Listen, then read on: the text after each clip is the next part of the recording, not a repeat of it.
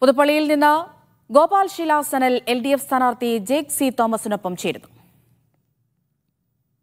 പുതുപ്പള്ളിയിൽ തെരഞ്ഞെടുപ്പ് പ്രചരണം അടുത്ത ഘട്ടത്തിലേക്ക് കടക്കുകയാണ്. ഇടതുപക്ഷ ജനാധിപത്യ മുന്നണി സ്ഥാനാർത്ഥി ജെയ്സി തോമസ് ഇന്നാണ് നാമനിർദ്ദേശ പത്രിക സമർപ്പിക്കുന്നത്. അപ്പോൾ ഇന്ന് പത്രിക കൊടുക്കാൻ പോവുകയാണ്. എങ്ങനെയാണ് ഇന്നത്തെ പ്രചരണങ്ങളും മറ്റു പ്രവർത്തനങ്ങളും ഒക്കെ? രാവിലെ ഏറ്റവും അടുത്തുള്ള കുറച്ച് വീടുകളിൽ പോയി ഹൃദയബന്ധമുള്ള അധ്യാപകരടക്കമുള്ള എന്നെ പഠിപ്പിച്ച ടീച്ചർമാർ അടക്കമുള്ള വീടുകളുണ്ട്. അവിടെ പോയി അവരുടെ സന്ദർശനം നടത്തി അവരുടെ ഒരു സ്നേഹസമ്പൂർണമായി പിന്തുണ അഭ്യർത്ഥിച്ച് നേരെ കോട്ടയത്തേക്ക് പോകും. കോട്ടയത്ത് ആർ ഡി ഓഫീസിലാണ് നാമനിർദ്ദേശ പത്രികാ സമർപ്പണം.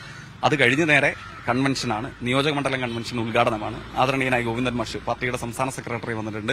രാവിലെ എൽ ഡി എഫിന്റെ കൺവീനർ സഖ വി പി ജയരാജൻ ഉണ്ടാകും. അങ്ങനെ തിരക്കിട്ട സ്വാഭാവികമായ പരിപാടികളിലേക്ക് പ്രസംഗങ്ങളിലേക്ക് പോകും. അപ്പൊ കളം നിറഞ്ഞ് സജീവമാവുകയാണ്. സ്വാഭാവികമാണല്ലോ കാരണം വളരെ കുറച്ച് സമയമാണ് അതിനിടയ്ക്ക് ഓണം ആ, ചതയ ദിനാഘോഷം ആ, എട്ട് നോമ്പ് പെരുന്നാൾ ഇതിന്റെയൊക്കെ വളരെ ഹെക്ടിക്കായ ദിവസങ്ങളാണ് മണ്ഡലത്തിൽ എല്ലാവർക്കും വരാൻ വേണ്ടി പോകുന്നത്. അതിനിടയിൽ പരമാവധി ആളുകളിലേക്ക് എത്തിപ്പെടാൻ വേണ്ടിയിട്ടുള്ള ഒരു ഒട്ടം സ്വാഭാവികമായി നടക്കും. പ്രചരണം ഒരു വശത്ത് ശക്തമാകുമ്പോഴും മറുവശത്ത് ആരോപണം വിവാദങ്ങളൊന്നും ഒരു കുറവുമില്ല. അപ്പൊ ഈ ജെയ്ക്സിനെ വ്യക്തിപരമായി കടന്നാക്രമിക്കുന്ന തരത്തിലേക്കുള്ള പല പ്രചരണങ്ങൾ പോലും കോൺഗ്രസ് സൈബർ ഗ്രൂപ്പുകളിൽ സാമൂഹ്യ മാധ്യമങ്ങളിൽ എല്ലാം ഉണ്ടാകുന്നുണ്ട്. വൺ ബൈ വൺ പറഞ്ഞു? ഞാനിപ്പോ മറുപടി പറയാം. അപ്പോൾ അത്തരത്തിൽ അതിനെ എങ്ങനെയാണ് നോക്കിക്കാണുന്നത്? എന്തൊക്കെ തരത്തിലുള്ള ആരോപണങ്ങൾ? അപ്പോൾ ഈ വീടുമായി ബന്ധപ്പെട്ട ആസ്തിയുമായി ബന്ധപ്പെട്ട അതിനോടൊപ്പം തന്നെ നാട്ടിലെ വികസനം അത്തരത്തിൽ മുൻ തെരഞ്ഞെടുപ്പ് ചരിത്രങ്ങൾ ഒക്കെ ചൂണ്ടിക്കാട്ടിക്കൊണ്ടാണ് പല ഘട്ടങ്ങളിലും പലയിടങ്ങളിലും പലതും ഉണ്ടാകുന്നത്. കോൺഗ്രസ് സൈബർ ഇടത്തിൽ തീറ്റിപ്പൂറ്റുന്ന സൈബർ സംഘാംഗങ്ങളെ സംബന്ധിച്ച് ഞാനിപ്പോ വ്യക്തിപരമായ അഭിപ്രായ പ്രകടനമൊന്നുമില്ല അവരിൽ ചില ആളുകൾ പറഞ്ഞു പോലും എന്റെ അച്ഛൻ ഇപ്പോൾ ജീവിച്ചിരുന്നെങ്കിൽ നൂറ്റിമൂന്നോ നൂറ്റി പത്തോ വയസ്സുണ്ട് എന്നൊക്കെ നിലയിൽ പറയുന്നുണ്ട്. അദ്ദേഹം കോളേജ് വിദ്യാഭ്യാസ കാല- കാലയളവിലാണ് അദ്ദേഹം മരണപ്പെടുന്നത്. ഇതൊന്നും അറിയാതെ വേറെ ഏതോ ലോകത്തിലിരുന്ന് കോൺഗ്രസിന്റെ കയ്യിൽ നിന്ന് കിട്ടാനുള്ള അപ്പകഷ്ണങ്ങൾ വാങ്ങിയെടുക്കാൻ വേണ്ടി മത്സരിക്കുന്ന സൈബർ സംഘങ്ങൾ ഉണ്ടാകാം. അവരെന്ത് പ്രചരണവും നടത്തട്ടെ? എനിക്കതിനകത്ത് ഒരു അത്ഭുതവുമില്ല. മുൻ മുഖ്യമന്ത്രിയുടെ വീടിന് നേരെ കല്ലേറുണ്ടായപ്പോൾ അതിനെ സംബന്ധിച്ച് അന്വേഷണം നിലച്ചു പോയപ്പോൾ അതിന്റെ പിന്നിൽ ആരാണ് എന്ന് അന്വേഷണം വന്നപ്പോൾ കോൺഗ്രസിന് തന്നെ അന്വേഷണം മുൻപോട്ടേക്ക് നടക്കാൻ താല്പര്യമില്ല എന്നുള്ളതായിരുന്നു.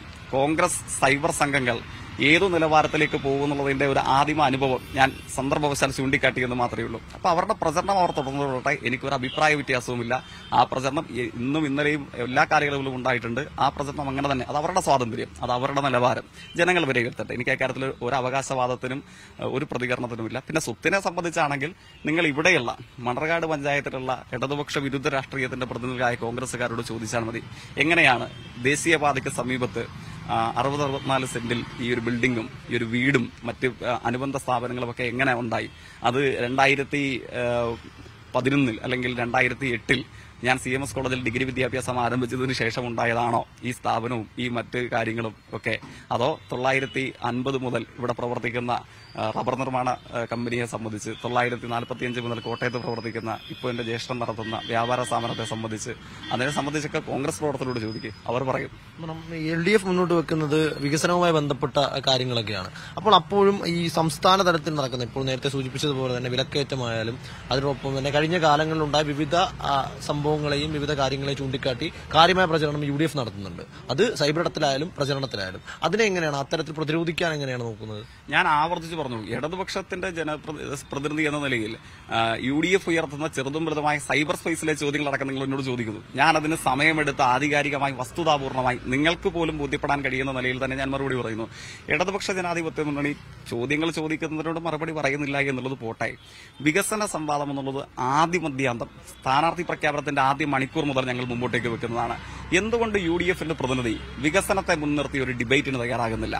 ഡിബേറ്റിനെ സംബന്ധിച്ച് ചോദ്യം ചെയ്തപ്പോൾ പിണറായി സർക്കാരിനെ സംബന്ധിച്ച് മുൻനിർത്തി എന്നോ എന്നുള്ളതായിരുന്നു തിരികെയുള്ള ചോദ്യം.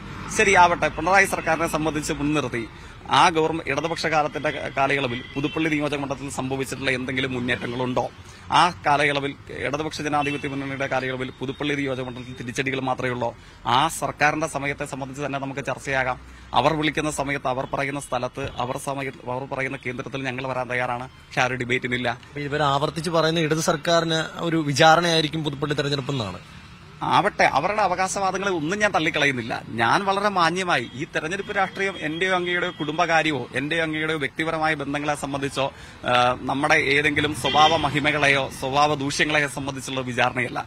തെരഞ്ഞെടുപ്പ് എന്ന് പറയുന്നത് ഈ നിയോജക മണ്ഡലത്തിൽ ജനജീവിതത്തെ മുമ്പോട്ടേക്ക് നയിക്കാൻ ഏതു തരത്തിലുള്ള രാഷ്ട്രീയ പരിവർത്തനമാണ് ഓരോ രാഷ്ട്രീയ പ്രസ്ഥാനങ്ങളും അവർ ഉയർത്തിപ്പിടിക്കുന്ന ആശയധാരകളും നടത്തിയിട്ടുള്ളത്. അത് ജനങ്ങൾക്ക് മുമ്പിൽ വിശദീകരിക്കട്ടെ. ആ വിശദീകരണങ്ങളെ ഉൾക്കൊള്ളാൻ കഴിയുന്ന ഉൾക്കൊള്ളുകയും തള്ളിക്കളയേണ്ടവയെ തള്ളിക്കളയുകയും ചെയ്യട്ടെ. ഇതല്ലേ പരിശോധിക്കപ്പെടേണ്ടത് എന്തുകൊണ്ട് അത്തരം ഒരു സംവാദത്തിന് കോൺഗ്രസ് യു ഡി എഫിന്റെ പ്രതിനിധി തയ്യാറാകുന്നില്ല?